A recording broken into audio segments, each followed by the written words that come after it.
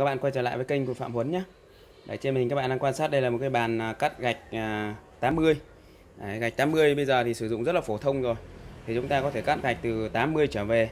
Thì hôm nay mình sẽ cắt thử cho các bạn xem. Mọi nhu cầu về dòng sản phẩm này thì các bạn có thể liên hệ tới à, số điện thoại của mình trên tấm biển trên màn hình đây. Giờ mình sẽ đi và cắt thử cho các bạn xem cái sản phẩm này. Các bạn có nhu cầu thì có thể liên hệ nhé. Đấy. Mình thực ra thì mình cũng không phải là thợ thế nên là cắt nó không được ngon như là thợ đâu đấy nên là mình thôi mình cũng cắt thử cho các bạn xem thôi. Chứ còn nếu mà các bác thợ mà cắt thì nó rất là ok đấy, đấy chúng ta chỉ cần đặt ở đây. Chúng ta đẩy đều đấy đẩy ra hết hết.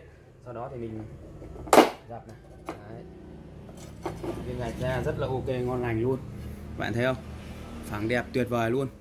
Đấy mình không phải là thợ mà còn cắt như này. Nếu mà các bác thợ mà cắt thì chấm hết luôn.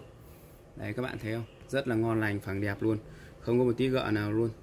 Nhãn phẳng lì luôn. Đấy nha thấy không? Rất là tuyệt vời mà còn trên cả tuyệt vời luôn các bạn nhé.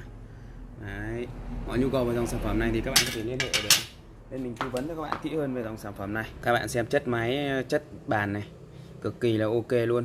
Hai thanh inox sáng bóng nhá. Đẩy đi đẩy lại cực kỳ là dễ dàng luôn.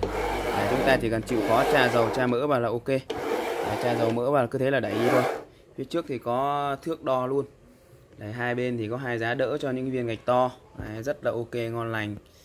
Đấy, các bạn có nhu cầu vào dòng này thì có thể liên hệ tới Phạm Huấn. Đấy.